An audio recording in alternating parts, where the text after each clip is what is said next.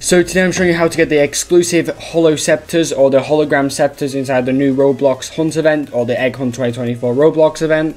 So to obtain these exclusive Scepters you have to actually earn 20 badges inside the event. So these are tokens which mean badge. So basically every badge you get on Roblox in the event you'll get a token. So to get a badge you have to basically go through these portals and unlock the badges from doing tasks inside the Roblox experiences.